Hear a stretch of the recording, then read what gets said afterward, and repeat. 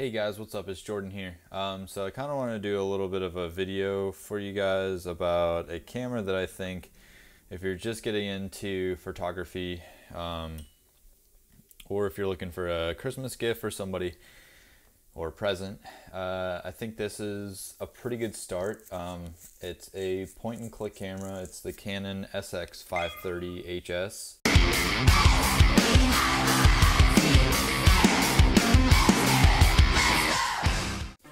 Um, so this is the first camera I bought and uh, it has a lot of amazing features on it, similar to like what a DSLR would be. Um, so it has a fixed zoom lens. Uh, it goes from f 3.4 to 6.5, um, but it actually goes up to I think f8. Um, so you get some pretty nice landscape photos, you get some really nice bokeh effects, some really shallow depth of field with it. Um, it has three different settings. So you can do macro photography, it has a normal autofocus, and then it has a manual focus, so you can basically focus from like a half inch all the way to infinity, which is nice. Um, it has a zoom lens, so it got it has a, a 50 times optical zoom. So it goes from a 4.3 millimeter all the way up to a 215 millimeter. And then with the 50 times zoom, uh, I think if you do the math, it goes, I think like 12,000 millimeters.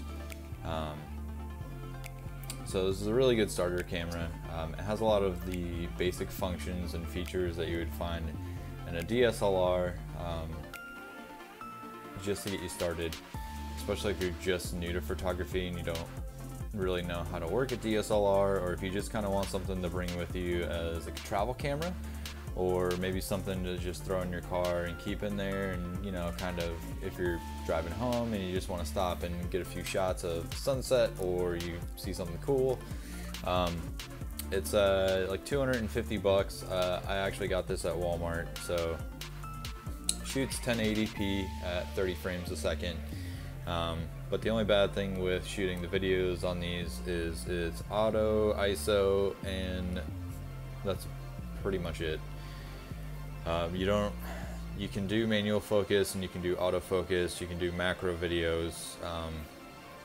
which is nice, but I really wish that you were able to both use your f-stop and also choose your ISO, but I guess for a digital camera, that's what you get.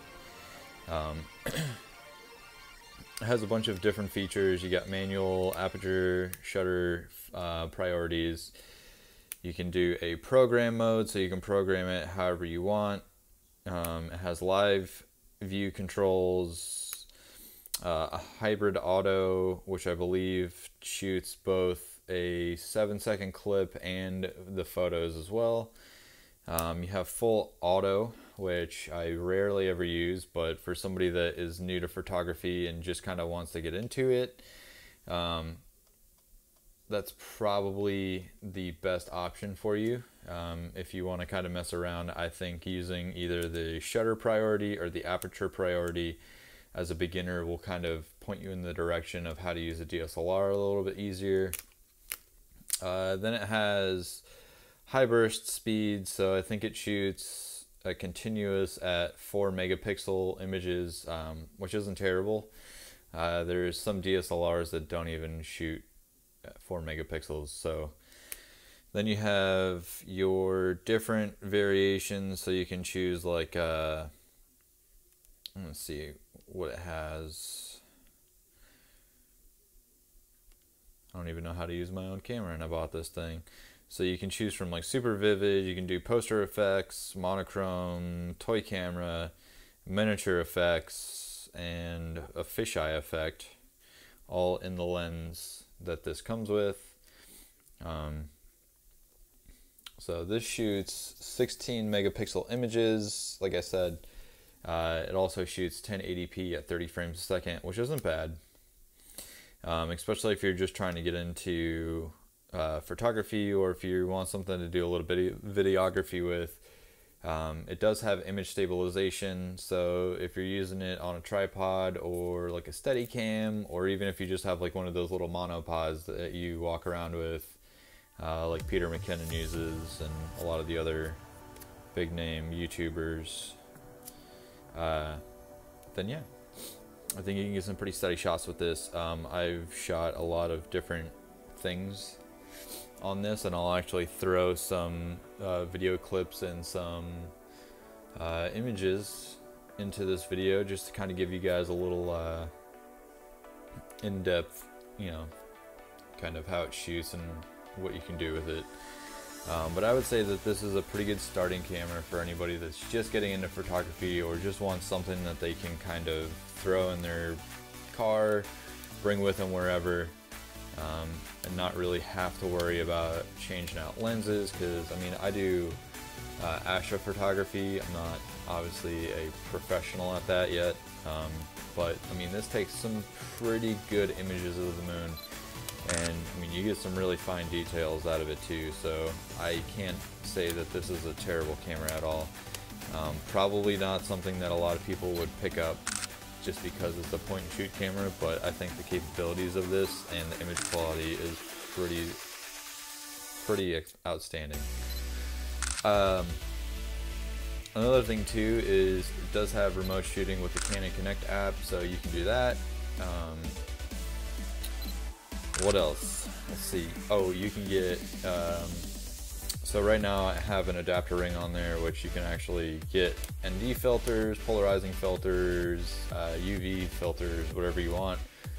Um, this is a 57 millimeter lens, I believe, or 58. And then it has the adapter ring that goes on here, and then you can get 67 millimeter accessories. If I could take this off, shoot some B-roll of it and I'll show you guys. Um, but I have a an extra, there we go. I have an extra macro lens and I also have a wide angle lens that goes onto this. So, I don't know if you can see it. This is a probably aluminum uh, adapter ring. They have plastic ones, but I would stay away from that. Um, but I will say that this is a little tough to get it on and off. Um, so sometimes I just wind up putting it on there and leaving it on there um, it doesn't really hurt anything, especially if you have a problem getting it on and off. It's a little tight.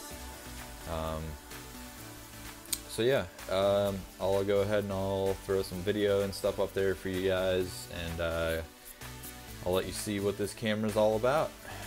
Hopefully this helps. Uh, if you have any questions, feel free to link them in the comments. Um, if you want to see me do a more in-depth like uh, video tutorial reviews on this, please let me know. Um, if you have one of these and you're wanting to know how to do something that you haven't figured out yet, um, I can see if I can also help you guys there. So feel free to drop me a comment. Let me know if you like this video. Give it a thumbs up. Um, if you didn't like it, give it a thumbs down. And like I said, if you guys have any questions, uh, feel free to ask. Jordan. I'll talk to you guys next time. Peace.